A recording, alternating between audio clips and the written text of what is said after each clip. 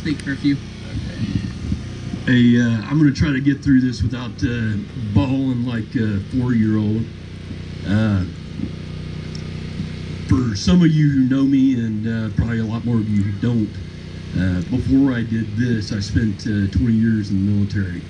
And in the military, man, I love that. I felt like I was serving every single day, but you never really get to see the people that you're serving and that immediate effect uh, for the people that you're serving. And so after I retired from the Army, I became a paramedic and then came into law enforcement. Uh, really because I wanted to serve at a local level and actually see the people and see the results uh, of what I was doing. Never in my wildest dreams did I think that the tables would kind of be turned on me and the people that I was serving would be here supporting me like y'all are you kind of belong to us at least for a few minutes to take care of you, uh, whether law enforcement, EMS, fire, whatever it is. But uh, just thank you all for being here. I can never say thanks enough.